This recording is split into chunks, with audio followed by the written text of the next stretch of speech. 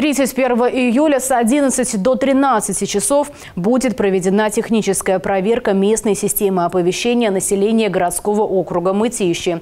В это время будет произведено включение электросирен и перехват теле- и радиовещания для передачи специальных сообщений. Просьба соблюдать спокойствие и общественный порядок.